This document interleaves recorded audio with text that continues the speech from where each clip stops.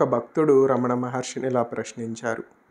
భగవాన్ భవిష్యత్తులో అడ్డుపడే విషయం భవిష్యత్తు బంధం అంటే ఏమిటి అని?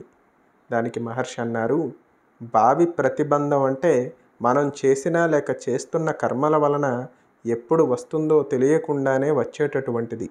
దాన్ని ఎలా తెలుసుకోవచ్చును అంటే చెయ్యబోయే కర్మ సాధకులైన వారికి ఒక విధమైన దయ రూపముగా ఆసక్తిని పుట్టించును. దాన్ని భావి ప్రతిబంధం అని తెలుసుకోవాలి. ముముక్షువైన వాడు ఆ ఆసక్తిని భవిష్యత్తు బంధమని తెలుసుకోక నేను కర్తను కాను కదా అసంగుణ్ణి కదా ఈ ఆసక్తి నన్ను ఏమి చేస్తుందని అనుకుంటాడు. కానీ దాన్ని ఆపకుంటే ఆ ప్రతిబంధం వారికి కొన్ని జన్మలు ఖచ్చితంగా కల్పిస్తుంది. భావి ప్రతిబంధ జన్మలు కలిగిస్తుందని అనడానికి ప్రమాణంగా వాసుదేవులకు ఒక జన్మ కలిగిందని జడభరతనకు రెండు మూడు జన్మలు కలిగినవని మరికొందరికి అనేక జన్మలు కలిగినవని శృతి స్మృతి పురాణాదుల్లో చెప్పబడి ఉంది. ఎవరికైనా ఏ జన్మలోనైనా ఈ ప్రతిబంధము నశించిపోతుందో అటువంటి వారికి ఆ జన్మలో ముక్తి సిద్ధం.